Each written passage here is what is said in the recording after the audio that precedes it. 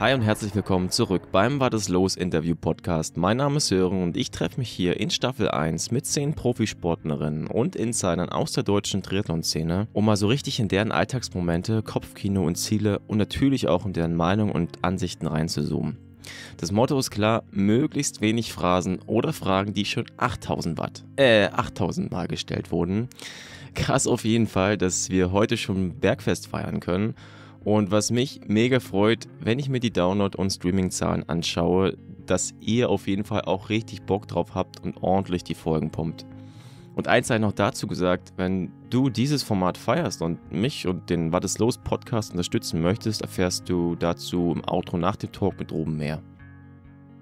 Wenn du die deutsche Triathlon-Mediaszene verfolgst, wirst du es wahrscheinlich schon mitbekommen haben, der deutsche Profi-Triathlet und frühere Radsportler Ruben Zepunke hat gemeinsam mit Pushing Limits und Filmrausch alias Julius Jacobi eine wirklich sehr, sehr starke Doku über seinen Weg hin zum Challenge Road 2021 herausgebracht.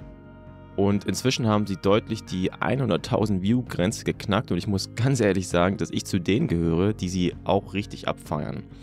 Aus der Perspektive des Triathlon-Fans gesehen bekommst du hier 57 Minuten feinste Triathlon-Kost mit vielen Insights und Behind-the-Scenes-Footage. Und nein, ich wurde für diesen Shoutout nicht bezahlt.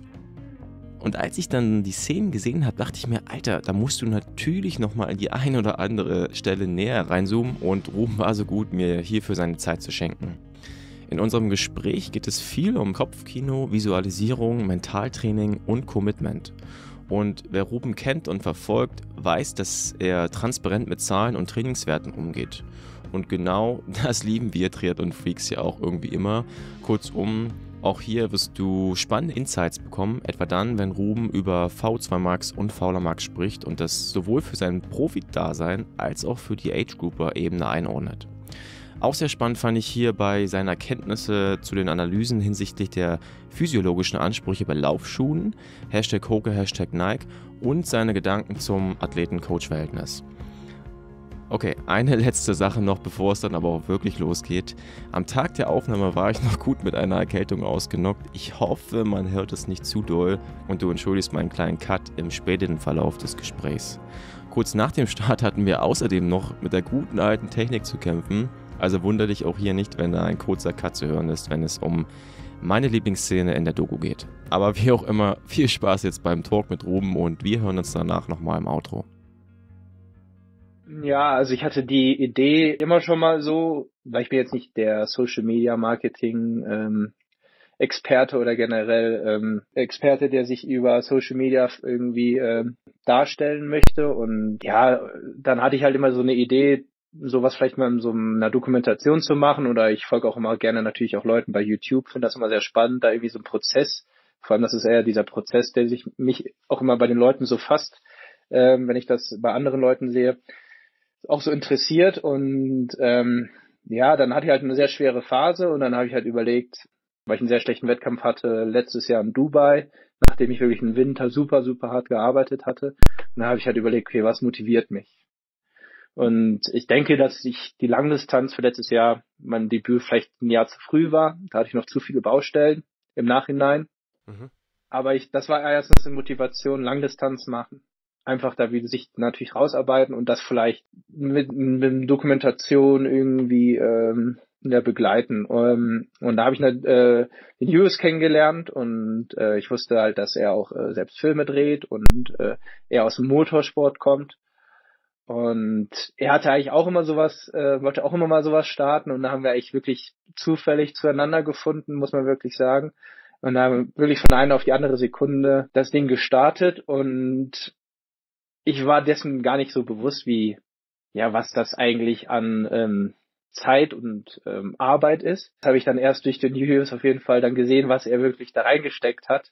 Finanziell auf jeden Fall auch. Also man muss auch dazu sagen, ich habe nichts äh, in diesen Film reingesteckt. Julius hat quasi alles über sein, seine Firma laufen lassen und bin dem auch da super auf jeden Fall dankbar, dass er da sich da so leidenschaftlich reingehängt hat, reingehangen hat und äh, ja, es ist äh, ich kriege äh, selbst noch manchmal Gänsehaut, wenn ich äh, da mal vielleicht nochmal ein, zwei Ausschnitte von sehe und ähm, ja, das war so quasi die Motivation, das irgendwie, was mich da motiviert im Training und man denke ich sieht das ja auch ganz gut in der Dokumentation, wie ich dann wirklich von Sequenz, für mich war es ja dann Wochen irgendwie immer motivierter wurde und gesehen habe, genau das ist, wofür ich lebe. Ja.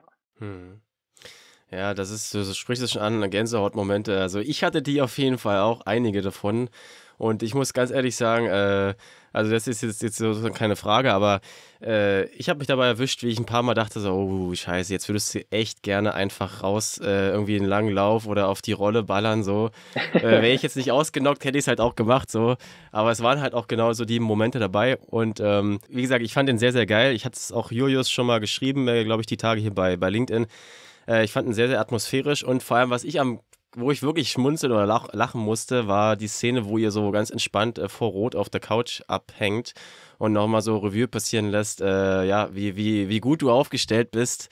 Und dann so dieser Twist, ich fand das so gut, wie du dann schon meintest, so, oh, ich habe schon so Bock äh, jetzt auf den Winter wieder, weil ich genau weiß, woran ich so schrauben kann. Und da musste ich, das war so ein Déjà-vu irgendwie, äh, ich hatte es dir ja schon mal in dem Videogruß gesagt, so 2017, wo ich in so einem Radsportteam war und man sich da auch so sechs Monate committed hat und dann erkannt hat, so durch so ein professionelles Training, oh, was geht da eigentlich alles? Und dass man schon so heiß ist, selbst wenn da so ein großes Highlight ist, danach dann noch weiter zu gehen, die Steps, so weißt du. Und das war so schön zu sehen, der Moment irgendwie. Das fühlt sich mega gut an. Also, es hat sich mega gut angefühlt. Ja, du hast einen Zeitfahrhelm, dann hast du einen Birch an. Ja. Auch super wichtig. Eine Scheibe. Scheibe, neue Reifen, neues Aero-Cockpit, wo du richtig schön klein machen kannst. Ein Dieselmotor im Körper, Alter. Morten in der Fresse. Ich weiß nicht, was da schief gehen soll, Alter. Äh. Wir haben das trainiert, du kannst die Pace ballern. Machen wir gar keinen Kopf. Ah, ich habe jetzt schon so Bock auf den Winter. Auf die Vorbereitung für nächstes Jahr. jetzt schon? Aber ich sehe, was wir alles machen können. Ja, wer ist der Bock auf Brot, Alter? Es ist nur noch abliefern, ey. Also ich hab richtig Bock. Äh, lass uns doch nochmal die Szene einsteigen mit der ähm, Rot-Konferenz, mit der PK. Da fand ich nämlich auch spannend. Also, du hast ja jetzt dann so diese Ansage gedroppt. Äh, ich sehe halt nur den Sieg. Und der Alex Siegmund, der der Moderator war dort, hatte das auch nochmal aufgegriffen. Und ähm, mich würde mal interessieren, wie, ob du da so bestimmte Vibes irgendwie so mitbekommen hast, so, oder ob du so im Tunnel warst. Ähm, ich meine, da saßen ja auch wirklich äh, Leute wie Kienle, Frommholt, Löschke.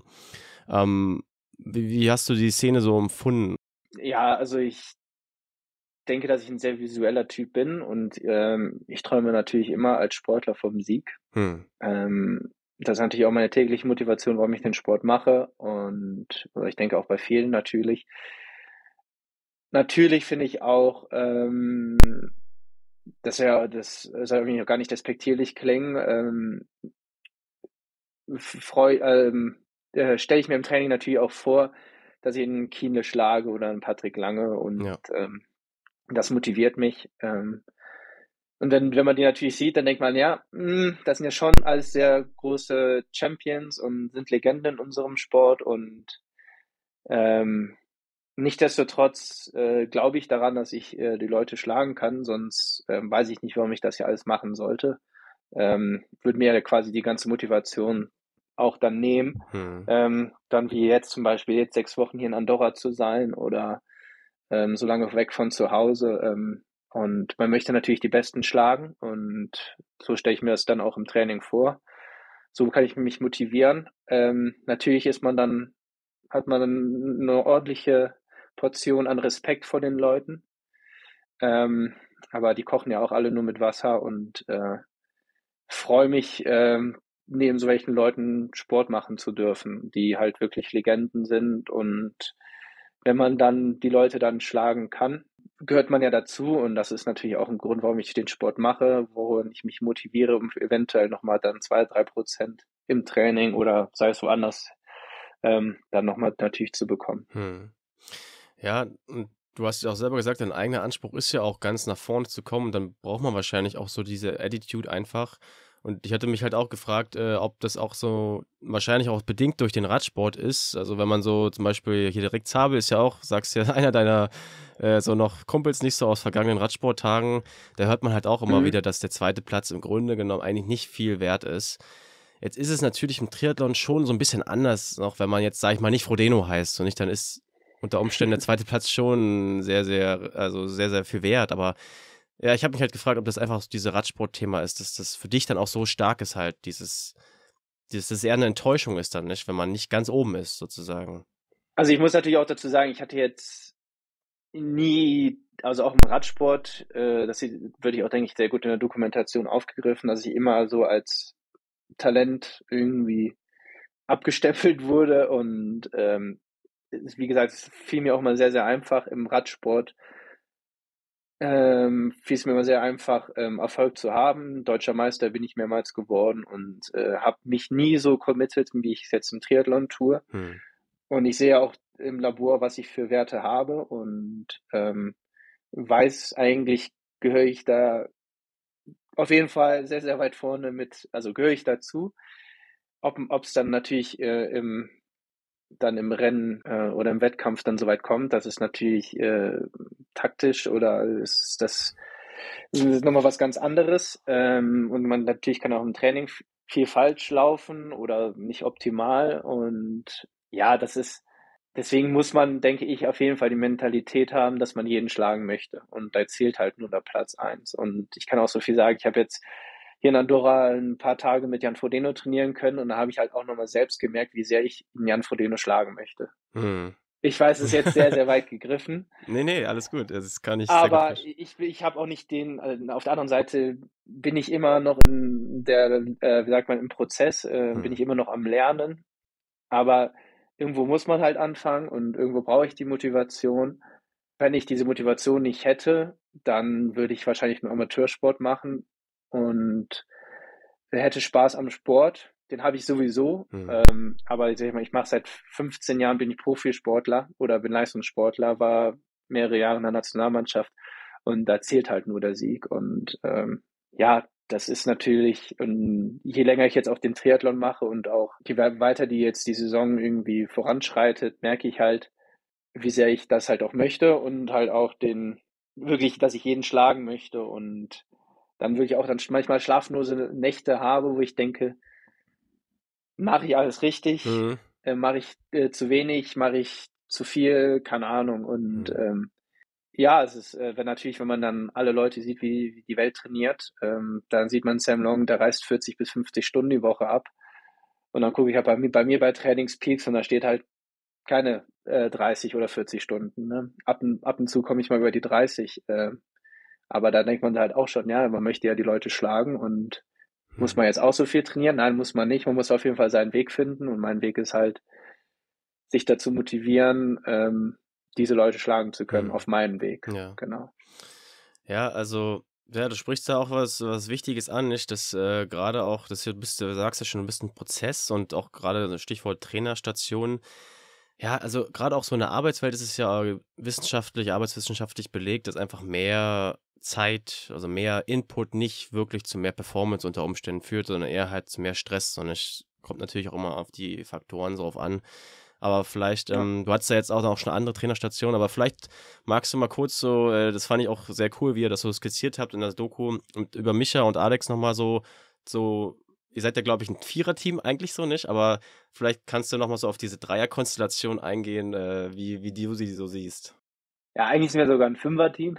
Ja, okay. Oder mittlerweile schon ein Sechser-Team. Okay, okay. Äh, also ich gehe auch sehr, sehr gerne offen mit um. Also natürlich ist Paulina, meine Freundin, äh, ist, unterstützt mich äh, auf allen Ebenen, wo sie kann. Mhm. Ähm, hat mich selbst hier in Höhentrainingslager besucht, hat Urlaub genommen und man muss natürlich auch erstmal fairerweise dazu sagen, ähm, ja, man sieht ja immer, was der Sportler leistet und dieses, ne, oh, ich bin jetzt sechs Wochen hier und mhm. äh, keine Ahnung, wie cool ich bin, bla bla bla. Ja, ja. Das stimmt ja nicht. Also es ist ja genau die andere Hälfte der Familie. Total. Die muss ja auch einen ent, in dem Sinne entbehren können oder muss, äh, findet das, also leidet die auch darunter, ne? Ja. Und äh, committet sich auch dem Ziel und äh, das ist natürlich erstmal auch ähm, wo ich denke ich den meisten Druck habe, sag ich mal, der Paulina, dass eigentlich auch oder meiner Familie ähm, alle der, die dazugehören, auch irgendwie das heimzuzahlen, mhm. quasi mit Erfolg. Ne? Ja. Und äh, ja, natürlich habe ich dann auch den meinen Trainer äh, quasi, äh, den Taktikern, so nenne ich ihn immer, den Michi. Also der trainiert, äh, trainiert mich quasi mit dem Trainingsplan und äh, mit Absprache mit dem Alex. Und äh, Alex ist, sag ich mal, ein Triathlet seit erster Stunde, hat sehr viel Erfahrung im Coaching und ist so eher so der große Bruder, würde ich mal sagen, der mich auch mal, der auch mit mal nachrot wirklich sagt, was Sache ist. Ey, schön, wie gut wie du vorne rumstrahlst und ja, wir haben uns eigentlich einem ähm, Ziel committed und du hast deinen Teil halt nicht gebracht. Hm. Ja, und da musst du halt noch dran arbeiten. Das war so die Message. Und äh, um da an dieser Message dran zu arbeiten, arbeite ich jetzt auch dann äh, mit dem Sportpsychologen, mit dem Christian, äh, arbeite ich da wirklich ähm, auch an diesem Commitment, an diesem Visualisieren, wo möchte ich hin, ähm, wie kann ich mich weiter professionalisieren. Mhm. Ähm, ist jetzt nicht, dass ich, ne, es hört sich ja immer so dramatisch an, Sportpsychologe, aber, aber ich finde ich gar nicht. Gerade ja, Mental, ja, aber es ist im Mental Coaching das, was man da wirklich an ähm, äh, Feldern offen hat, äh, wie man sich wirklich dann nochmal vielleicht wirklich drei, vier Prozent verbessern kann, gerade durch Visualisierung. Ähm, ich denke, boah, ich hoffe, das bei den nächsten Rennen dann auch zeigen zu können. Äh, und ähm, dann gibt's noch den Julius, der jetzt gerade mit mir hier in Andorra ist. Das ist quasi der Marketing äh, Manager, so würde ich mhm. ihn mal nennen, der auch natürlich die Dokumentation gedreht hat ja. und haben halt wirklich auch während der Dokumentation, während dem Dreh gemerkt, äh, der hat richtig Bock darauf, äh, der kann, der hilft total, es äh, wirkt super unterstützend und äh, ja, ist, äh, bin super froh, da wirklich so eine, wirklich jetzt schon so eine riesen Gruppe am Start zu haben mhm. und äh, hoffen das natürlich, dass das die nächsten Jahre äh, noch weiter wächst und irgendwann mal dann natürlich äh, Platz eins äh, dabei rauskommt, ja. Mm, ja. Und du hattest ja auch gesagt in der Doku, also da bist du, hast du, glaube ich, 2020 gemeint, dass du davor dein Setup verloren hattest. Da habe ich mich gefragt, ähm, wie das du genau gemeint hattest, also ob das jetzt auf das Training oder auf, auf diese Konstellation an sich bezogen war. Vielleicht magst du da mal kurz drauf eingehen. Ja, also ähm, was heißt, ich habe mein Setup verloren, also ich war nicht mehr im Flow, so kann man das nennen. Mhm. Ähm.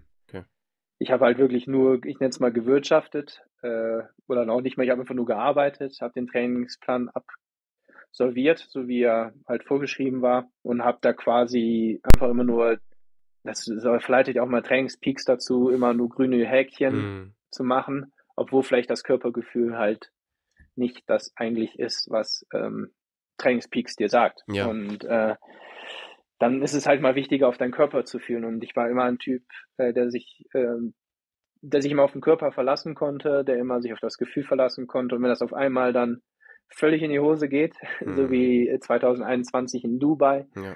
oder auch schon in Ratingen 2020. Und das ist halt immer, da, oder ich hatte halt, ich habe das immer schon so, wie nennt man, ich hatte das schon mal im Unterbewusstsein. Ich, ich habe hab da immer gemerkt, dass ich ähm, nicht da bin, wo ich schon mal war oder es fühlt sich halt ganz anders an. Also ich habe mich nicht mehr wiedererkannt und mhm. äh, das war halt schon so ein bisschen Gesichtsverlust von mir selbst, ähm, wo ich mich selbst nicht mehr wiedererkannt habe und da erstmal dann wieder im Training Erfolge zu haben. Mhm. Also ich mhm. kann ja mal, das ist jetzt mal ein Beispiel, ähm, da habe ich dann den Trainerwechsel gehabt und ich war früher immer ein Diesel. Ja.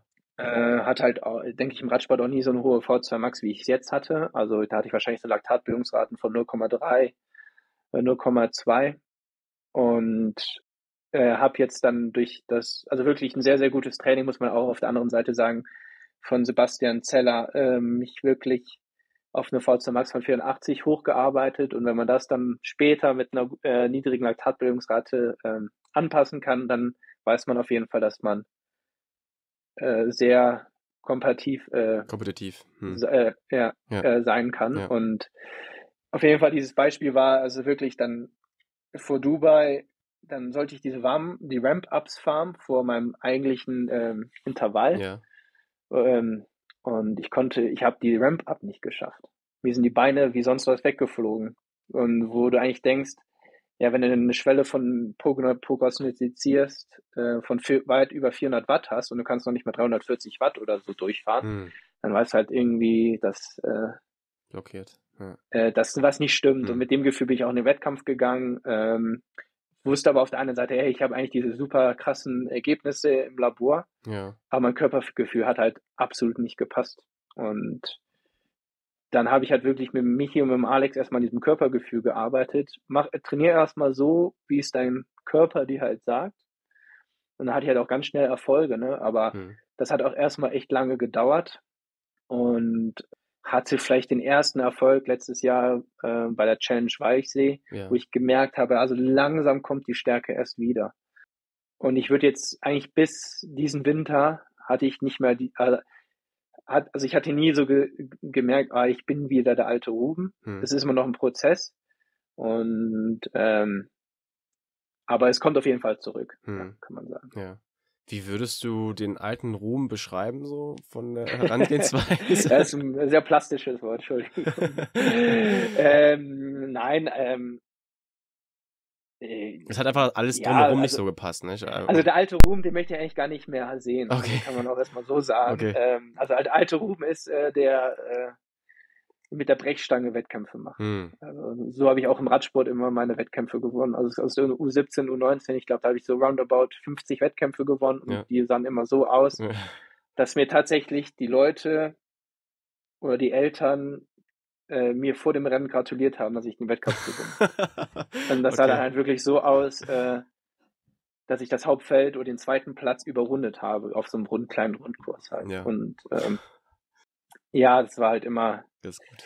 äh, das war der alte Ruhm. Aber ich, wenn man in der Weltklasse ist Mhm. oder Weltspitze sein möchte, dann kann man das halt nicht mehr machen. Ja, ja. Und da bin ich bis jetzt immer sehr bestraft worden. Hm. Und das erste Rennen, was ich jetzt dieses Jahr hatte, da habe ich ein bisschen mehr gezügelt, ein bisschen mehr Coolness an den Start gebracht und bin ich jetzt knapp Vierter geworden ähm, oder knapp vom Podium oder knapp vom Sieg, äh, war eine Minute vom Sieger entfernt, Hm. was ein Duathlon war und äh, ja, also ich bin auf jeden Fall on track. Hm. Auch da würde ich nochmal ganz kurz, äh, nochmal kurz, äh, auch wieder so ein kleines Déjà-vu von mir zu diesem Ötztaler Radmarathon, wo ich ja ein halbes Jahr trainiert wurde. Und da wusste ich Ja. genau, was ich zu tun hatte. Und das war der einzige Wettkampf, muss ich leider zugeben, bisher. Und das war ja nicht mal im Triathlon, wo ich einfach, äh, es hat alles gestimmt so und ich musste mich einfach nur zurückhalten, so weißt du. Ich hab, war nicht Ja. überfordert und so. Hast du das auch schon mal so jetzt im Triathlon erlebt, dass du gesagt hast, du bist voll im Wettkampf? Oder war es eher bisher so, oh, dass du gucken musst, dass du irgendwie, weißt du, also dass du nicht überkochst und dass alles zu viel ist und weißt du, dass du die Kontrolle einfach so hast. Hast du schon mal so dieses Gefühl oder vielleicht teilweise gehabt? Ja, teilweise definitiv. Die letzten zwei Jahre nicht. Äh, ich würde sagen, in Rot habe ich auch die Kontrolle verloren. Challenge Weichsee, wo ich Vierter geworden bin, auch wieder ganz knapp vom Podium. Ähm, hatte ich auch keine Kontrolle gehabt. Das war einfach nur vier Stunden, ja, was kann ich halt, oder dreieinhalb Stunden, was kann ich halt abliefern im Wettkampf. Ja. Ich bin, denke ich, vom Kopf her, äh, bin ich, äh, oder ich, diese Coolness, wie gesagt, die habe ich nicht, äh, weil ich dann oft immer denke, ja, ich muss jetzt ja alles mit der Brechstange machen, weil ich halt wirklich diese Radstärke habe. Mhm. Ähm, tatsächlich, das ist jetzt wieder ganz lustig, da weil ich da auch mit meinem Sportpsychologen drüber spreche, äh, weil wir immer von dieser Visualisierung sprechen, Ja. wo ich deutscher Meister im Einzelzeitfahren geworden bin. Da hatte ich das. Ja. da hatte ich diese Coolness, diese Kontrolle. Ich gesagt, ja, ich, ich habe von meinem Trainer damals habe ich meine mein, meine quasi jede also fünf Minuten Takte bekommen, welche Wattzahl ich fahren soll. Und da habe ich mich perfekt dran gehalten. Also ersten fünf Minuten erstmal nur Schwelle oder unterschwellig, dann Schwelle Hm. und dann die nächsten 40 Minuten All Out. Ja. Dann habe ich knapp einen 50er Schnitt gefahren auf, glaube ich, irgendwie sowas von 40 Kilometer oder so und 400 Watt äh, im Schnitt als U19-Fahrer. Und mein Trainer hat das damals immer noch sehr, sehr gerne in der, bei der Spoho benutzt als ähm, Paradebeispiel. Mhm. Und äh, hat, weil ich da wirklich so richtig halt, also da hatte ich auch cool, ich hatte auch da Vertrauen drin. Ja. Und das ist halt auch so, wo ich denke, ähm, wo ich dran arbeiten muss, dass ich einfach genau meine Stärken mir auch dann so auslegen muss, dass ich da cool bleibe. Ja. Hm. Weil die Zahlen und sowas, das bekommst du ja alles auch hingelegt, nicht? Von Michael, der macht das alles perfekt. du weißt ja eigentlich auch da um deine Schwimmstärke, sag ich mal, also jetzt im Vergleich ja. zu anderen auch nicht, die da vielleicht im Triathlon eingestiegen sind, deine Radstärke, so viel ist eigentlich gar nicht anders, nicht? Das ist äh, ja, man, also man muss auch ehrlich sagen, ich habe auch eine ziemlich gute Laufstärke, konnte sie aber noch nie zeigen. Ja, ja, ja. Und äh, weil ich da schon einen ziemlich äh, guten Motor habe hm. äh, fürs Laufen. Ja, weil ich mir das mit dem Radfahren halt immer kaputt mache. Und äh, jetzt im, das war jetzt bei der Challenge Salou vor zwei Wochen jetzt knapp, äh, hatte ich auch, das war der eigentlich der einzige Auftrag, war, halte ich an deine Wattzahlen. Hm um mal richtig geil zu laufen. Unter 1,10 war eigentlich geplant. Und ich denke, unter 1, wenn du unter 1,10 laufen kannst im Halbmarathon, obwohl es jetzt ein Duathlon war, wo ich denke, es war, wird dann, war, ist dann noch anstrengender, mhm. ähm, schneller zu laufen, weil man ja dann schon mal fünf Kilometer vorgelaufen ist. Ja. Ähm, hatte ich meine Wattzahlen, kann ich auch offen sagen, war 340 Watt, weil wir quasi aus der Höhe gekommen bin und ich, ich wusste nicht genau, wie ich da so reagiere und ich auch nicht mehr in der Höhe so richtig ähm, Entschuldigung, ähm, Wettkampf ähm, spezifisch trainieren konnte, weil ich halt relativ hoch äh, mhm. trainiert habe, über 2000 Meter. Und ähm, naja, Plan war auch dann nach einer halben Stunde im Wettkampf, musste ich den dann auch beim Radfahren über den Haufen werfen, weil ich dann, ich glaube, ich bin über zwei Stunden weit über 360 Watt gefahren oder ich bin 90 Minuten 370 Watt gefahren, hm. äh, was bis jetzt meine beste 90-Minuten-Leistung ist, äh, also auch als Radprofi sogar. Und ich sollte aber über zwei Stunden 340 Watt fahren. Ne? Mhm. Und das ist halt schon mal ein riesen, riesengroßer Unterschied, ja, weil halt einfach die Rennkonstellation so aussah, dass wir vorne richtig Druck machen mussten, weil da vorne oder hinter uns eine Gruppe von 30 Mann mit 5 Meter Abstand äh, quasi zu jedem anderen, obwohl 20 Meter Abstand war, mhm. ähm, gefahren ist. Und ähm, da hatte ich halt richtig auch Angst, dass ich dann wieder keinen schlechten Lauf äh, performe. Ähm, habe mich aber dann wirklich an die Visualisierung mit meinem Sportpsychologen dann nochmal vor dem Laufen äh, mich dran erinnert, was wir halt vereinbart hatten. Und dann habe ich halt wirklich nochmal ja, fünf Kilometer vorher oder vor oder zehn, ja, fünf oder acht Kilometer vor dem Ende der Rad, äh, des Radsplits äh, nochmal rausgenommen und dann wirklich nochmal zu sagen, okay, ich mache mich jetzt nochmal komplett ready. Ja nehme nochmal ein Gel, reduziere die Wattzahl mal auf vielleicht 340 Watt ja. Ähm, ja. und ähm, guck dann, was ich beim Laufen dann äh, zeigen kann. Und dann bin ich halt eine 1,13 gelaufen. War lag sehr, sehr lange, ich glaube bis Kilometer zwei, lag ich auf zweiter Position, äh, zwei Kilometer vom Ziel, lag ich auf dem zweiten Platz, immer mit 20, 30 Sekunden auf den ersten. Äh, war auch mal auf 10 Sekunden dran. Mhm. Also ich habe wirklich dann gemerkt, ja, es, es läuft wieder auch beim Laufen. Und dann wurde ich halt leider von den äh, richtigen Läufern, Top-Läufern auf dem letzten Kilometer überholt. Äh, die halt alle eine 1.08 oder 1.09 gelaufen sind, aber die sind halt, was ich gehört habe, wie gesagt, alle immer nur auf 10 Meter mhm. Abstand gefahren in der Gruppe und ähm, was ich gehört habe, was äh, jemand in der Gruppe für Watt gefahren ist, die sind 280 Watt gefahren. Mhm.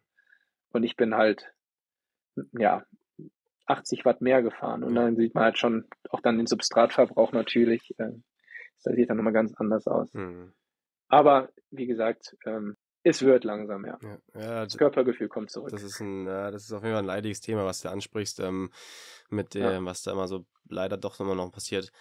Aber das ist interessant, weil das ist genau der Punkt, den ja der Maurice Clauvel auch angesprochen hatte in Südafrika, ja, genau, wo er auch, gehört, nicht, also wo er auch so diesen einen Moment einfach brauchte von außen um da wieder ähm, sich zu setteln. Aber äh, weil du es ja auch gerade mit dem Motor angesprochen hast, also es ist ja auch, Triathleten sind ja auch immer so ein bisschen Zahlenfreaks gerne nicht. Es macht ja auch Spaß, so ein bisschen einfach so ein bisschen ja, absolut. rum zu philosophieren. Und ich denke mal, den meisten ist das auch so bewusst, was du ja alles ansprichst, aber vielleicht nochmal auf eine Sache anspielend äh, mit dem brutalen Motor, den du ja hast, so nicht? Hm, ich glaube, der Michael meinte irgendwie, du hast einen sehr, sehr starken Motor aber der ist halt noch sehr verschwenderisch. Wobei das noch, weiß ich nicht, ob das noch gilt. Vielleicht kannst du ähm, das nochmal so einordnen. Dann geht es ja um Sauerstoffaufnahmen etc. Ja, äh, genau, also.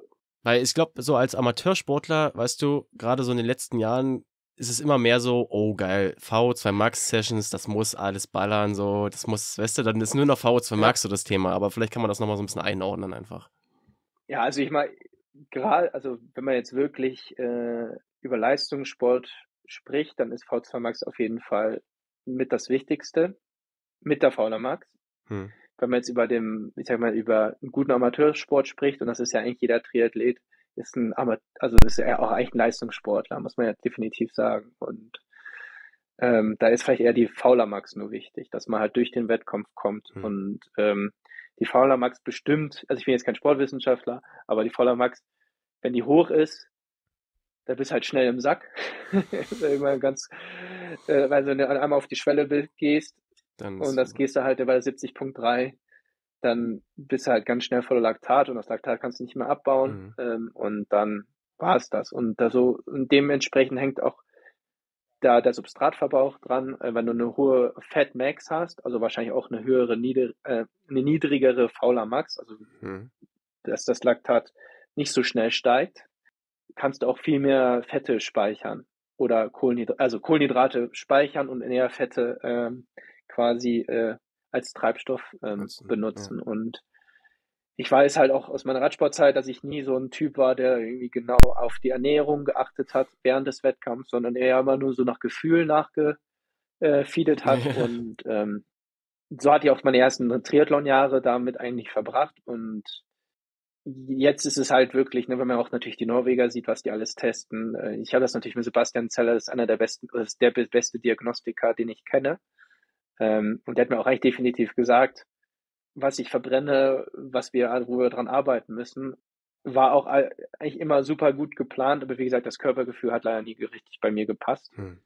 weil wir vielleicht dann erstmal zu sehr viel Wert auf die V2 Max gelegt haben, weil wir gesagt, gesehen haben, mit 80 Kilogramm, 84er oder 83er Aufnahme, ich weiß jetzt nicht mehr genau, ähm, 6,5 Liter maximal pro Kilogramm oder nee, wie sagt man? Ich weiß gar nicht.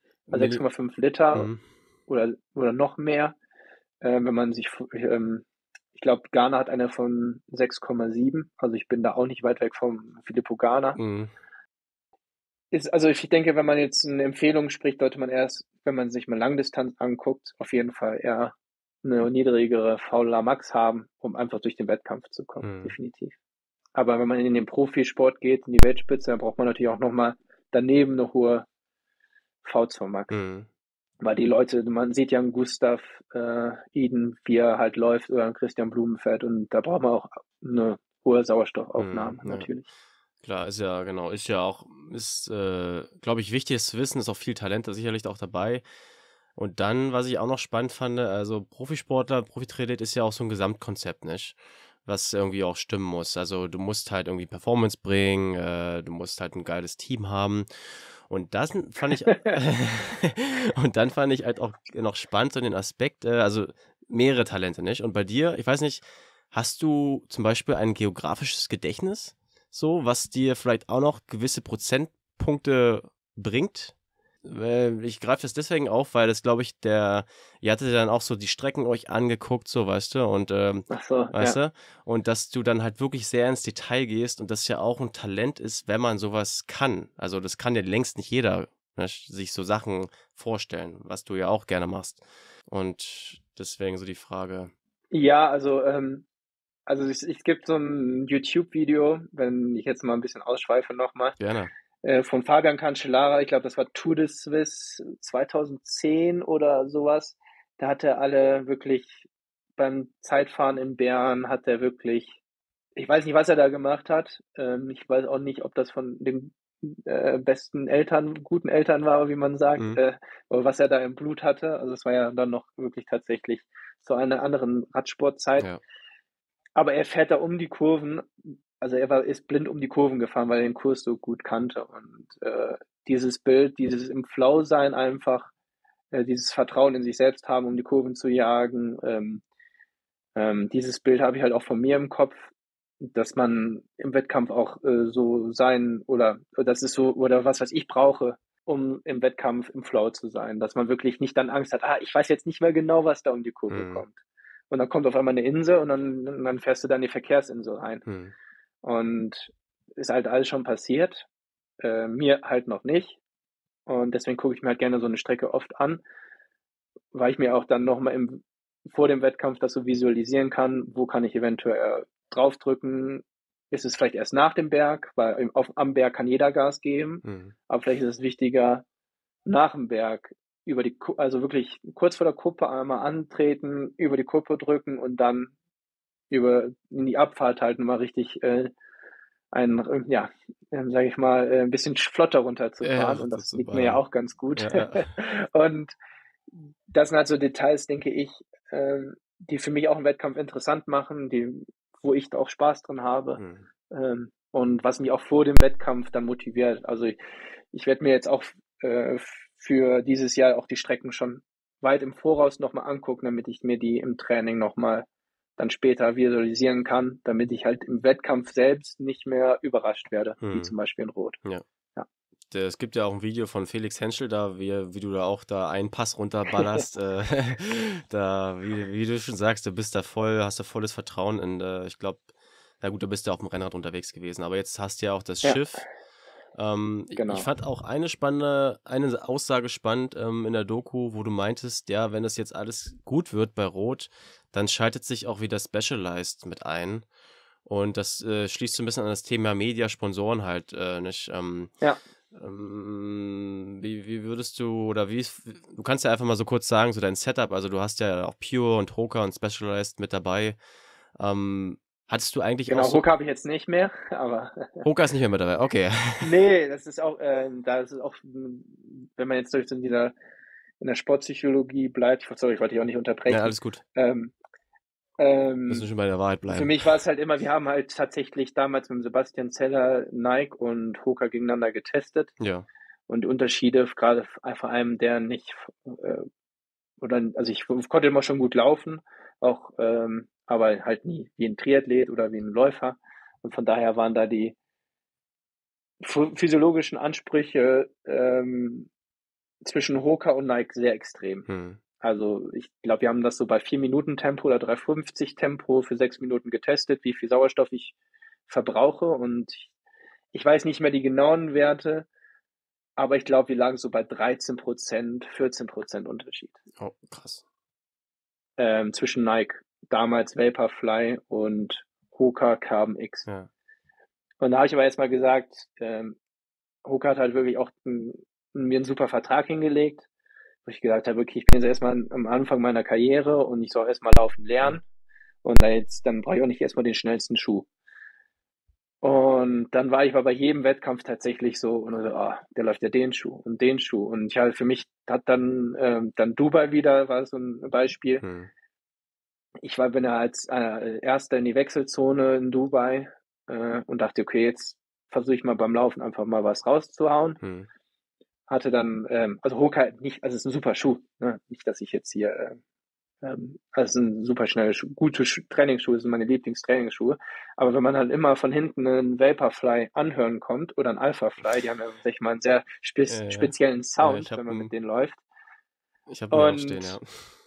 Ja, und dann dachte ich, oh, da kommt schon wieder einer und schon wieder einer. Und die waren halt wirklich 30 Sekunden schneller auf dem Kilometer unterwegs. Und dann ist klar, dann hast du, weißt du im, hast du im, im Hintergrund halt auch immer dann ähm, das Wissen, äh, du hast den Schuh getestet, du weißt, dass der 13, 10 Prozent schneller ist, wenn du den läufst. Also sparst du an Energie, kannst du natürlich dann, äh, dann auch mehr ausgeben mit dem Nike an Energie und ja, das, dann habe ich halt da wirklich nochmal lange nachgedacht. Ich hätte auch bei Hoka bleiben können, aber ich dachte, jetzt ist halt auch irgendwie ein Zeitalter im Triathlon ange äh, hat angefangen, wo man absolut das A-Game bringen muss. Und mhm. mein A-Game ist halt dann jetzt Nike oder der schnellsten Schuh, den es halt gerade gibt. Mhm. Und wenn ich damit mehr Erfolg habe, kann ich eventuell bei anderen Sponsoren das Geld auch wieder wett, wettmachen, ja. Ja, und dann ist es wahrscheinlich auch, auch total individuell alles, nicht? Also, wenn wir jetzt Jan Frodeno nehmen, der ist ja zum Beispiel bei Hoka, nicht? Und dann ja, passt genau. das ja und da habt ihr euch wahrscheinlich dann auch ausgetauscht so darüber, nicht? Er wird ja auch Nike und so geco getestet haben. Ja, also ich, ich, ich natürlich da ein paar Insights noch mehr, aber da will ich auch gar, gar nicht drauf eingehen. Ja, alles gut. Ähm, ja. Äh, es ist, äh, ich sage das halt für jeden, es ist halt auch die Sache, wo man selbst dran glaubt. Und ja. ich habe mit meinem Sportpsychologen festgestellt, ich glaube halt an den Nike-Schuh. Ich hab, bin mit meinem Nike-Schuh meinen PB auf fünf Kilometer gelaufen und hm. äh, da ist es halt äh, für mich dann, habe ich dann wirklich lange überlegt, weil natürlich muss man ja auch äh, erwirtschaften als Profisportler und ähm, habe halt gesagt, nee, ich nehme erstmal wirklich den schnelleren Schuh. Hm. Gucke jetzt dieses Jahr, was, ne, wie, wie Erfolg ich damit habe und dann kann ich vielleicht nochmal nach einem Jahr entscheiden. Hm. Vielleicht bleibe ich dann bei der Entscheidung ja. oder es wird nochmal was anderes sein. Aber ich denke, man, gerade in dem Zeitalter, wo wir uns gerade befinden, äh, muss, äh, was Performance angeht, muss man auf jeden Fall, hm. sollte man jedes Detail betrachten, ja. ja. Und wie siehst du so diesen Prozess, den du halt auch mit dem Sponsoren etc. halt auch, das ist ja mit dabei so, Hast du das so ja. eingeschätzt? Also ich höre jetzt immer so von den Profis, mit denen ich so rede, dass es halt echt schon krass ist und vor allem auch viel krasser geworden ist in den letzten Jahren, dass man sich damit so vielen Sachen auseinandersetzen muss. Klar, hat man auch vielleicht einen Manager noch, äh, der da vieles äh, auffängt, aber hast du das der, hast du das so gewusst, äh, dass es halt auch echt anstrengend ist, nicht? Und dass da ja auch Druck ist? Macht dir das Druck? Ja, natürlich. Ich muss ja meine Miete bezahlen und jetzt, ähm, sag ich mal, ist es ja wirklich eine, wenn man jetzt von der Klimakrise mal absieht, ist es ja, also sind wir ja mehr oder weniger auf dem Weg hm. äh, in den nächsten kalten Krieg oder eventuell schlimmere Sachen. Und da fragt man sich natürlich, äh, macht das alles überhaupt Sinn, dass ich Profisport mache? Bringt das der Gesellschaft was? Das sind auch Gedanken, mit der ich mich irgendwie immer konfrontiere. Hm. Ähm, weil ich sag mal, als Profisportler ist man ja schon sehr egoistisch unterwegs, ne? Ähm, ja, ne, man, man kriegt Geld dafür, dass man sich bewegt. So, und ähm, ich denke, das ist ein absolutes Luxusgut. Deswegen bin ich noch mehr den Sponsoren natürlich dankbar, dass die mir diesen Lebensstil erwirtschaften oder finanzieren können mhm. und ähm, will den natürlich dann über meine Performance ähm, dem gerecht werden, was natürlich auch irgendwie äh, mir auch natürlich Druck macht oder wenn dann die Ergebnisse schlechter werden oder schlecht sind, mhm. eventuell wird der Druck dann noch höher ähm, und da kann man natürlich auch als Sportler dran zerbrechen. Ähm, aber sag ich mal, wenn man jetzt ein Team hat, wie ich es äh, oder wie wir es sind, ja. äh, äh, nimmt das natürlich auf jeden Fall eine Menge Druck mhm. und ist sich der Rolle auch irgendwie bewusst, ähm, dass man jetzt gerade vielleicht Profisportler sein darf ich denke, ich habe noch mehr Glück als Jan Frodeno, äh, der wirklich jetzt durch Corona oder wir alle haben natürlich die durch Corona sehr gelitten, ähm, aber durch die Pandemie hat er jetzt zwei Jahre verloren, jetzt ist er verletzt. Hm. Und das waren jetzt seine Jahre, wo er nochmal hätte Weltmeister werden können, vielleicht fünf Titel auf Hawaii haben können, ja, weiß, weiß ja, ich. Ja. Ähm, aber natürlich zieht sich das dann, also wenn ich dann, dann abends ins Bett gehe und ich gucke mir nochmal auf der Tagesschau-App die Nachrichten an, ist das halt irgendwie, ja, ja da gibt es schlimmere Sachen definitiv auf der Welt mhm. und äh, frag mich da ja, was mache ich hier eigentlich in Andorra, während äh, ja Leute um ihr Leben kämpfen und ähm, was ich halt auch wiederum als Motiv Motivation sehe, den Sport machen, weitermachen zu können, weil es kann, es kann halt von einer auf der anderen Sekunde halt auch wieder vorbei sein. Ne? Man weiß halt nicht, kommt jetzt nochmal eine neue äh, Corona-Variante, mhm wird es jetzt nochmal äh, schlimmer mit der Situation in bei der Ukraine und ähm, deswegen genieße ich jetzt erstmal gerade, dass ich hier in Andorra sein darf. Bin mir natürlich auch dessen bewusst, äh, dass es ein absolutes Luxusleben ist. Ja, ja. ja. ja es ist auf jeden Fall ein Privileg, das stimmt. Man muss es aber natürlich dann auch, oder darf es vielleicht auch so sehen, aus der Perspektive, dass du eben auch ganz, ganz vielen, und das klingt immer so ein bisschen hochtrabend, aber dass du halt auch ganz vielen damit was gibst, nicht? Also, dass du andere motivierst. ja, das weiß ich nicht. ja, ich glaube ich glaub schon. Also, wenn man so unter die, also ich habe mir mal ein bisschen die Kommentare angeguckt unter den ganzen Pushing Limits, äh, also mhm. aus dem Content jetzt, was ihr so rausgebracht habt, zusammen mit der, mit der Doku und so. Und da sieht man schon sehr stark, dass da einfach die Leute Lust drauf haben, Anteil zu nehmen und dass die halt auch motiviert, wie man immer so schön sagt, nicht? Wie ich erst meinte, so, man will dann halt rausgehen und wieder trainieren. Und dass gerade auch das in ja. den Zeiten echt was geben kann. Also ich kann das zu 100 Prozent unterschreiben, dass das äh, aus einer Sicht egoistisch ist, aber aus der anderen Sicht auch echt ein Mehrwert ist für viele. Also das muss man also auch sehen. ja, natürlich. Also ich denke, äh, das, was der Julius äh, für Bilder eingefangen hat, diese dramatischen, ich würde es mal wirklich dramatischen oder romantische Sportbilder, äh, äh, das ist, äh, also ich äh, ich war schon in der ersten Anfangssequenz, wir haben es ja im Kino, da haben wir die Premiere gesehen, war ich schon sehr, sehr mitgenommen und da floss auf jeden Fall die erste Träne bei mir, weil äh, der Sport äh, an für sich eine super krasse äh, Emotion vermittelt. Ja. Und äh, je, ich denke, jeder Triathlet, der auf olympische, egal auf egal welcher Distanz unterwegs ist, oder sei es ein Ultrarunner, ähm, ich habe auch auf vielen anderen äh, Sportbranchen äh, Nachrichten bekommen. Ähm, ich denke, kann das auf jeden Fall sehr, sehr viel Motivation vermitteln und äh, ähm, ja, oder einfach nur das Feeling vermitteln, ähm, was Sport halt tun kann und leisten kann und ja. äh, auch Leute ablenken kann, natürlich jetzt gerade von dieser schlimmen Zeit. Äh, ich merke das halt auch, wenn ich in meinem Training bin, geht's gerade noch im Schwimmbad gewesen, dann denke ich halt mal eben nicht darüber nach. Sobald ich im Bett liege und das Handy dann neben mir liegen habe, ja, habe ich natürlich direkt wieder diese Bilder im Kopf. Und ich denke, dass da der Sport mit einer der größten Auswege aus, ähm, ja, natürlich, oder wo wir uns wirklich flüchten können und äh, dann halt nicht mehr über solche schrecklichen Szenen halt nachdenken. 100 Prozent total, ja. Und äh, dass man immer mal wieder aus der eigenen Perspektive einfach auch rauszoomen kann. Apropos Perspektive, also ich hätte noch, ich hätte noch zwei, drei Fragen, Ruhm. Ähm, wir, ja, gerne. Wir haben ja jetzt, äh, ger wir haben ja jetzt eigentlich ausschließlich über deine Perspektive gequatscht. so. äh, da gibt es ja jetzt auch noch das ähm, RZ-Coaching. Und das ist bisher ja. jetzt auch noch nicht wirklich thematisiert worden. Und äh, ich hatte mich gefragt, äh, vielleicht magst du da einfach mal ein paar Worte zu ja, euer Konstrukt da verlieren. Ja, also äh, ich denke, das, was ich äh, für ein Trainerteam oder ein Team um mich habe, ähm, sei es von, fängt bei Paulina an, äh, hört bei Julius auf und Michi und Alex geben natürlich den Hauptteil dazu, aber der, was jetzt nur Training angeht, das hab halt ich nur, kann ich äh, direkt sagen. Äh, das äh, ist halt wirklich ähm, ein Commitment, Commitment, Commitment von allen, ähm, wo ich eigentlich da brauche, also da muss ich Sport machen, ne? also wie jeder da sich da halt äh, hineinhängt. Und ja, dann hatte ich halt die Idee mit dem Michi, ja, eventuell, weil er wirklich mein Trainer ist, ich bezahle ihm auch nichts, ja. ähm, kann er seine oder das, was er mir erwirtschaftet oder was er mir gibt, kann er da ähm, über die vielleicht andere Einnahmen als ähm, weil andere Leute Coach halt dann ähm, generieren und auch darüber lernen, ähm, wie man mit äh, Sportlern umgeht und das, was er mit mir lernt, ja. ähm, wirklich, ähm, wie wir halt uns halt auch von Training zu Training weiter professionalisieren, kann er halt auch den anderen Sportlern von RZ Coaching weitergeben und ähm, sind alle super zufrieden.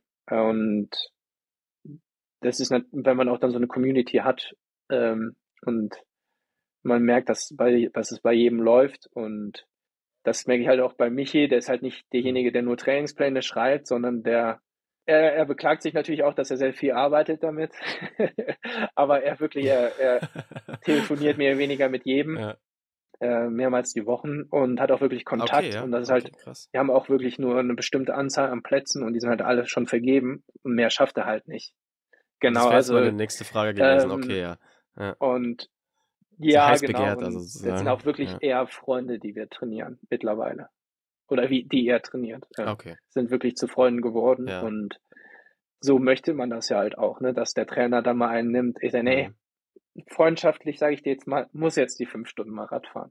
Keine Ahnung, ist jetzt ein Beispiel, ne? Und äh. Ähm, das ist halt immer das, was ich auch so beim Trainer haben, oder was ich haben möchte, ein freundschaftliches, brüderliches Verhältnis oder schwesterliches, ich weiß es nicht. Ähm, mhm. Und das haben wir definitiv, das haben wir in der Gruppe und äh, da macht es halt nur Spaß, miteinander zu trainieren und in so einer Luxus, Luxus äh, ja, in so einer schönen Situation zu sein, ähm, miteinander äh, ja, Sport machen ja, zu dürfen. Ja, und jetzt, wie gesagt, Julius hat besucht mhm. mich jetzt hier in Andorra, soweit ich, äh, wir, wir drehen ein paar Szenen hier. Eventuell gibt es dann eine Fortsetzung. Äh, und ja, es ist halt auch so an tollen Orten sein zu dürfen, mit anderen Leuten ähm, das alles teilen zu dürfen. Das ist natürlich sehr, sehr toll. Ja, ich hatte mich, mich gefragt, so, was sucht ihr denn für, man sagt ja im Marketing so, für eine Persona an Athlet? Aber das bedeutet ja eigentlich auch gleichzeitig nicht, dass, wenn das so ausgerichtet ist, das Konzept, was ich sehr, sehr spannend finde, auch selbst mhm. als Hobbyathlet, ähm, dass es äh, mehr oder weniger schon ausgereizt ist, nicht? Weil du kannst ja nicht noch mehr annehmen, wenn da jetzt nur Michael ist. Ja, also der Alex arbeitet nicht, auch noch mit ähm, bei RZ Coaching. Okay. Und er hat ja. halt seine Sportler und er ja. committet sich bei seinen Sportlern auch nur so wie ich es gerade beschrieben Okay. habe. Also er möchte auch ein freundschaftliches Ja. Verhältnis mit seinen Sportlern haben. Und wenn du dann 50 Mhm. Sportler hast, dann weißt du, dann kannst du ja vielleicht nur eine E-Mail beantworten und das war's. Und äh, kurz mal in den Ja, bei. Trainingspeaks reinschauen. Und natürlich auf der Grundlage arbeiten wir auch. Und aber wir versuchen halt immer noch irgendwie, wie gesagt, wie was bei mir geholfen hat, ist halt wirklich den Mensch zu sehen oder ein Körpergefühl irgendwie darstellen zu können durchs Training. Und das versuchen wir halt auch bei den anderen Sportlern mehr oder weniger auch zu erzielen. Und wenn man dann mal vielleicht mal mehr Arbeitsstress Mhm. hat, dann ist es halt klar, dass man halt äh, nicht trainieren, also nee, weniger trainieren muss und das vielleicht nur, dass das. Training vielleicht nur on top ist, dass es vielleicht nur mal eine 30 Minuten Rolleneinheit ist. Ich kann es, wenn ich jetzt mal ganz ehrlich bin, ich hatte heute drei Stunden äh, ähm, Straße äh, auf meinem Trainingsplan hier in Andorra. Ja. Ich bin, glaube wie gesagt, auf 2400 Metern. Ja. Das Wetter war ein bisschen bescheiden, habe ich gesagt, okay, gehe ich auf die Rolle. Und ich war die Tage, habe ich jetzt ein bisschen Krafttraining gemacht, ähm, weil es mir einfach super hilft, ähm, auch Verletzungen vorzubeugen. Und dann war ich aber so platt, hab so Muskelkater, jetzt bin ich für drei Stunden, jetzt halte ich fest, 130 Durchschnittswatt gefahren, 134 Durchschnittswatt. Äh, wenn ich mir dann angucke, was halt bei äh, Strava manchmal abgeht, was da Leute vier, fünf Stunden rumknallen, über, Ja. weit über 300 Watt, da kriege ich halt Angst. Wie soll ich gegen diese Leute ähm, antreten, wenn ich wie heute nur 130 Watt schaffe? Aber mein Körpergefühl war halt wirklich so, Ja, weil ich ja. natürlich bin ich erstmal auf 2400 Metern. Und der Puls hat auch nochmal was anderes gesagt, dass der ein bisschen schon in der Ausdauer, äh, also ich war schon im Lit-Bereich, definitiv Mhm. vom, vom Puls her. Aber mein System war halt so gestresst, dass ich Ja. gesagt habe, nee, dann kann ich, nehme ich jetzt die drei Stunden halt wirklich zum Entgiften in dem Sinne. Den muss ich nicht nochmal den nächsten Trainingsreiz Mhm. setzen. Und es ist ja ein Trainingsreiz in dem Sinne, dass ich mich regeneriere während der Einheit, weil meine Beine durchbluten Mhm. und die Giftstoffe werden abgebaut. Und da auch Mhm. da sehe ich halt auch wiederum dann den Prozess, dass ich dann der, in dem Sinne mir dann selbst vertraue und sehe, nee, reicht. Ich weiß, wenn ich jetzt nochmal einen draufsetze, dann bin ich morgen halt noch mehr im Quark und äh, komme nicht weiter. Und gerade in der Höhe muss man da noch mehr aufpassen, als äh, wenn man zu Hause ist. Ja, weniger ist dann mehr. Und sonst kriegst du dann wieder die Schelte Ja, von genau, Alex, nicht? Wenn, wenn du dann doch wieder mehr Ja, aber es ist ja wirklich ein Problem. Man sieht ja die. Leute, was die bei Strava trainieren. Und wenn man sich dann Sam Long anguckt, weiß weiß ich, der reist 1000 Kilometer in der Woche, läuft äh, 130 Kilometer und schwimmt 30 Kilometer. Ne? Und da fragt man sich ja, hm, wie lange geht das gut oder wie kann ich da entgegensetzen? Ne? Und wenn ich jetzt nur mal die Leistungen vergleiche, klar kann man das nie von, vom Rennen zu Rennen begleichen, äh, vergleichen, aber er ist jetzt äh, in, was war das? Clash Miami vor vier Wochen oder so. Da ist er ja, 350 Watt Ja. gefahren und für über, glaube ich, 80 Minuten oder so. Und ich bin halt weit mehr gefahren über einen längeren Zeitraum, wo ich mir denke, es gibt halt verschiedene Trainingsansätze, die halt individuell halt anders, an, also auch anders ansprechen. Und ähm, Ja. ich denke gerade, für mich ist einfach am wichtigsten, wie das Körpergefühl ist. Und ähm, natürlich arbeiten wir mit einem Laktatmesser Ja. und dem, der entspricht mittlerweile, kann ich voraussagen, was ich für einen Laktatwert habe. Ja, ich habe mir auch in der Vorbereitung noch eine andere Interview angehört. äh, Du warst ja doch schon bei, bei Marco Sommer zum Beispiel auch im Podcast und so. Ja, genau. Und Das da, ist schon ein bisschen länger ja, her. ja, das ist schon ein bisschen länger her, genau. Und da ging es spannenderweise auch so um diesen Prozess, gerade im Triathlon gestartet äh, und äh, dass du natürlich dann auch äh, in die Weltspitze kommen willst. Ich glaube, du hattest, war das 2018 oder 19? Ja, 2018. Ja, genau. Und dann, dass du gesagt hast, so, ja, okay, in drei, vier Jahren will ich natürlich auch in der Weltspitze sein. Ähm, wie, wie wie würdest du sagen? Also, siehst du dich äh, schon in der Weltspitze? Ja, also ich bin jetzt durch das Rennen äh, in die Top 100 der PTO wiedergekommen. Ich war mal Platz 70 oder so. Ja, ja. Ähm, keine Ahnung, also wenn man Top 100 ist, würde ich einen schon zur Weltspitze zählen. Natürlich ist Triathlon ein sehr, sehr kleines Geschäft. Hm. Ähm, war einfach, man sieht ja, was halt die Kollegen auch leisten und ähm, ähm, ich denke natürlich zählt nur Platz eins. Hm. Ich, äh, das ist daran, wo ich mich dran motiviere. Ob ich es erreichen werde, ist halt eine ganz andere Frage. Ähm, aber ich habe in dem Sinne keinen Zweifel, weil ich mich daran motiviere, Platz eins zu sein. Ja. Äh, um die Frage genau zu beantworten, ja, ich denke, dass ich in der Weltspitze angekommen bin. Ich, das habe ich im Rennen in der Challenge, äh, beim Challenge Salou mir selbst nochmal bewiesen, gerade durch die Leistung, die ich da erzielt habe, wenn man es mhm. nur von der Leistung spricht, nicht vom Ergebnis. Vierter ist okay, ähm, nur von einer Minute vom Sieger, aber ich will natürlich alle schlagen. Ich glaube, ich werde erst dann ein glücklicher Mensch, muss man wirklich leider sagen, wenn ich das geschafft ja. habe. Also das, ja, also das äh, ist immer so ein Kritikpunkt. Äh, man sieht genau, meine Freundin weiß genau, wenn ich grübel. Äh, also ich habe dann immer diesen Ausdruck dann ja, abends, wenn man auf dem Sofa liegt und man isst dann vielleicht schon die zweite Tüte Chips. Das war jetzt ein Witz, aber es ist dann immer so, äh, mhm. mache ich alles richtig? Und das ist immer, mhm. das ist so die große Frage auch, die ich mit dem mhm. Sportpsychologen ähm, bespreche. Und der sagt ja, deine Trainer, die sind Weltspitze, sagst du selbst. Ja. Du hast noch nie so gute Trainer gehabt und dann, ne, also er, er, er bekämpft mich selbst, meine Zweifel mit meinen eigenen Argumenten ja. und äh, das ist immer, ist auf jeden Fall, für mich ist es ein Prozess und ich denke, in der Weltspitze anzukommen oder generell da zu sein, das ist ein andauernder Prozess und ähm, es ist halt wie, keine Ahnung, äh, es hört halt nie auf. Mhm. Ne? Man muss halt immer weiter den Tank befüllen und, ähm, ja. und hoffentlich ist man halt dann auf dem Platz 1. Mhm. Ja. Äh, und dann, also was halt auch sehr spannend war in der Doku, ist ja auch so diese Erfahrung, nicht, ohne jetzt nochmal drauf groß einzugehen wollen mit der Tour de France, nicht? Also, dass der auch dieser mhm. krasse Twist so war. Und du hast es dann halt leider nicht, sag ich mal, erreicht, das, was du dir vorgenommen hast.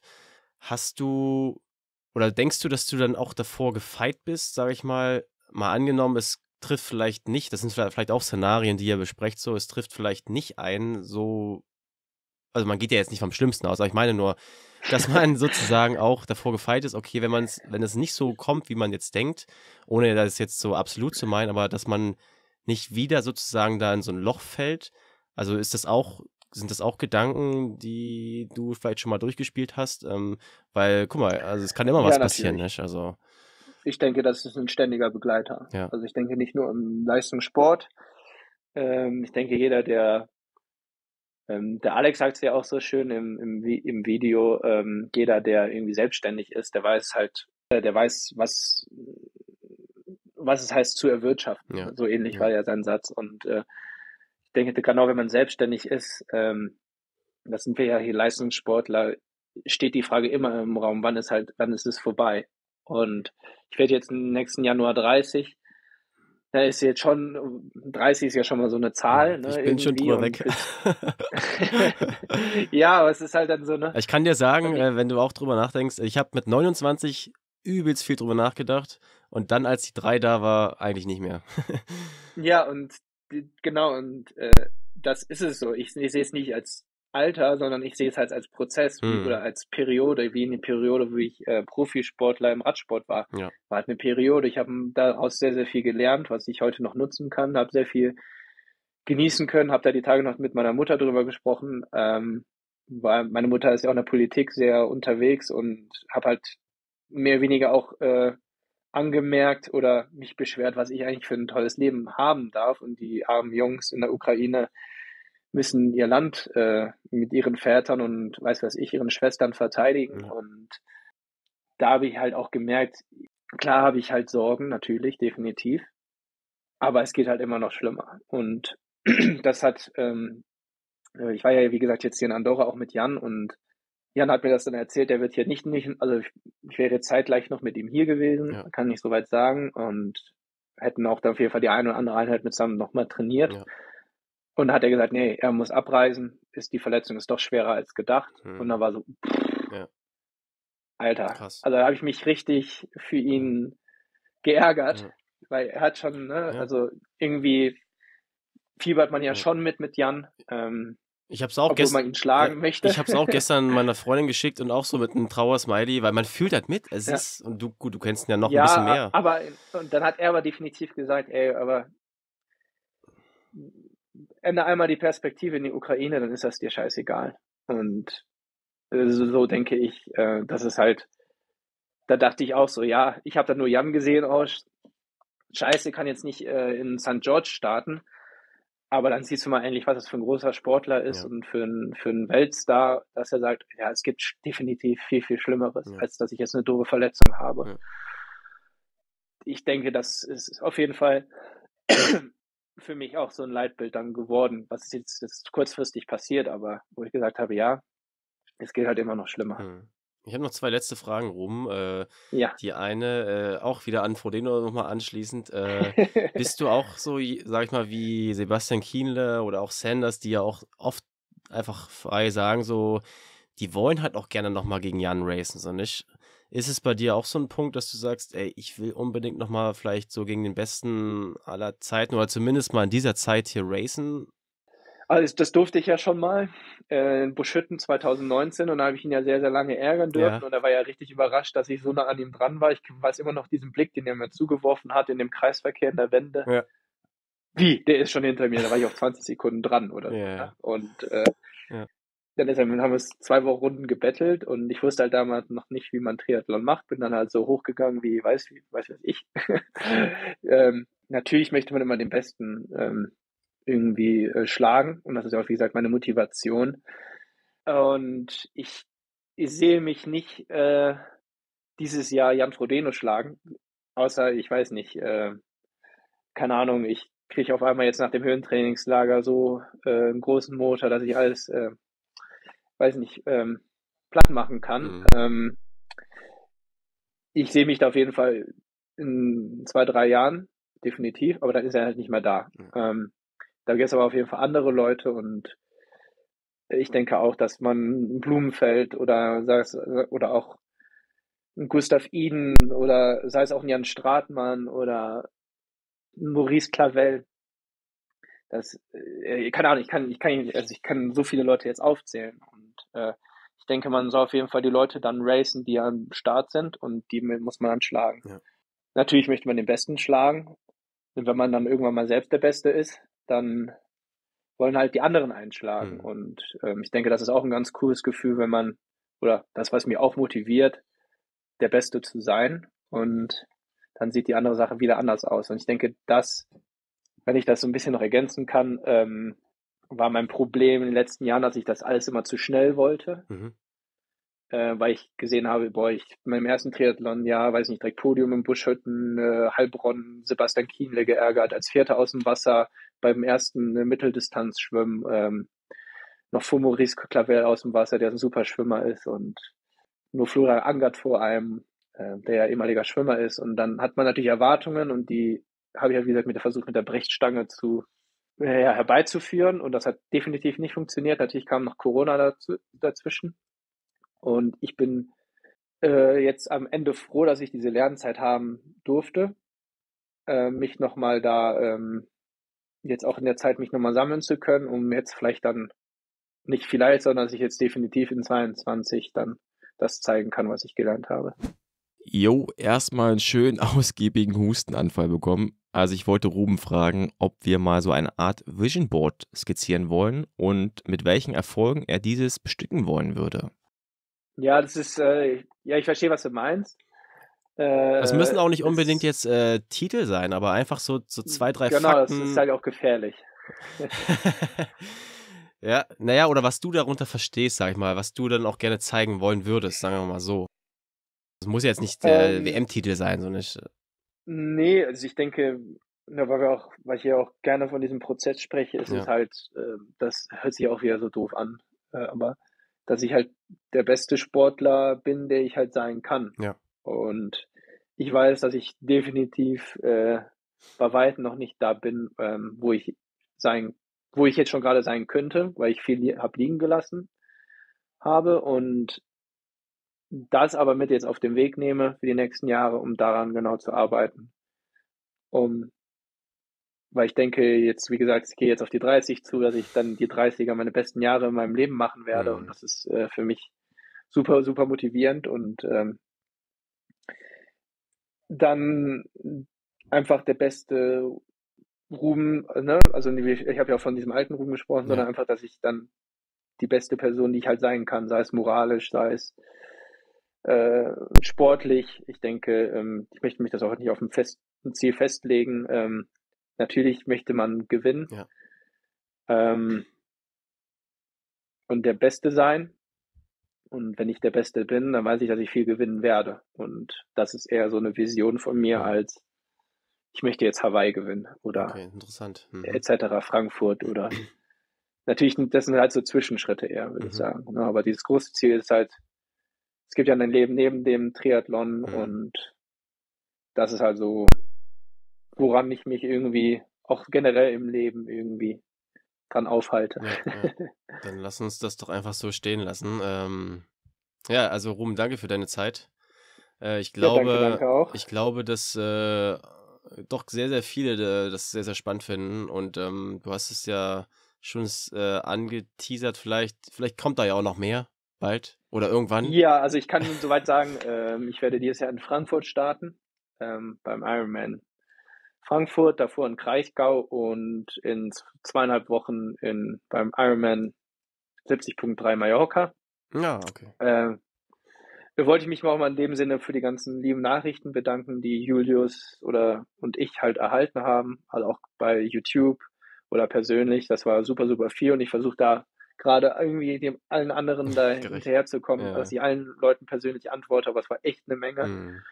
Und ja, freue mich, dass wir jetzt das auch, ne, klar, ist der, der, erste, der erste Film, so sage ich es mal, aber die, der, der erste Teil, der war jetzt schon sehr, sehr emotional und ja, ähm, ja wir wollen einfach ein, das so mit mitnehmen, die Leute auch mit auf die Reise nehmen und ähm, der Julius macht eine super Arbeit und ja, freuen uns, ähm, dass es ähm, euch gefallen hat. Ja, ja. ja, vielen Dank. Ja, und ich denke, alle, die jetzt zuhören, werden sich freuen, dass äh, eventuell da noch mehr kommt. Äh, ja. ja, wir haben so auf jeden Fall ein paar Ideen ja. auch mit den Sponsoren, mit denen ich natürlich arbeite. Das äh, muss man ja auch sagen, man muss ja irgendwie auch mit den Sponsoren äh, das auch finanzieren. Also ich weiß jetzt nicht, wie gesagt, der Julius hat das äh, alles irgendwie selbst äh, finanziert und mhm. Ich äh, weiß gar nicht, wie ich dem gerecht werden soll, was er da für eine Arbeit geleistet hat. Äh, ich bin ja, also ich bin ja nur ich selbst da und ich mache ja in dem Sinne nichts außer ich selbst zu sein. Und äh, ja, der Julius ist derjenige, der das filmt und sich mhm. die Gedanken darüber macht und muss mich da auf jeden Fall bei ihm nochmal persönlich auf jeden Fall bedanken. Also quasi jetzt in Andorra werden wir auf jeden Fall das eine oder andere alkoholfreie Bier zusammen trinken und ähm, da auf jeden Fall auch anstoßen, weil ich glaube, heute haben wir sogar die 100.000 Views geknackt. Also Ach, schon, okay, krass. Ja. Schon ganz okay. Ja. ja. Ja, dann lass uns doch hier einen Punkt setzen. Ich meine, es ist Viertel genau. zehn. und äh, ja, genau. Also, Ruben, ähm, danke für deine Zeit. Ja, ja, vielen lieben Dank. Hat mir echt Spaß und, gemacht. Äh, vielen Dank fürs tolle Interview oder Podcast. Das war mein heutiger Gast, Ruben Zepunke. Vielen, vielen Dank fürs Zuhören bis hierher. Danke auch für deine Zeit, Ruben. Und einen großen Dank auch natürlich an die Sepunke Crew und speziell auch an Julius von Filmrausch für das Audio- und Videomaterial. Also Ruben sagt es ja auch selbst, im ersten Moment mag vieles vielleicht ein bisschen überheblich oder arrogant oder auch naiv klingen, aber ich finde, im Gespräch merkt man sehr gut, dass Ruben sehr genau weiß, wo er hin möchte, womöglich halt nur noch nicht sein eigenes Lebenspuzzle so zusammensetzen konnte, wie er es für sich bereits visualisiert. Und da fällt mir als 90er-Kind spontan die Anime-Serie Dragon Ball ein, wo ja die super starken Saiyajins-Krieger gegen meist noch stärkere Bösewichte kämpfen mussten. Und die Krux dabei war oft, dass sie ihrer eigenen gewaltigen Kraft Herr werden mussten, also lernen, sie richtig zu kanalisieren und vollständig zu kontrollieren. Und was ich auch sehr spannend fand, Ruben ist einer der wenigen, vielleicht muss man sogar sagen, einer der ersten, die proaktiv in den Medien über Zweifel und Ängste sprechen. Man taucht hier quasi szenenhaft mit ein in das oder in sein Gefühlschaos und in die Gedankenprozesse, was ich persönlich auch sehr, sehr spannend fand.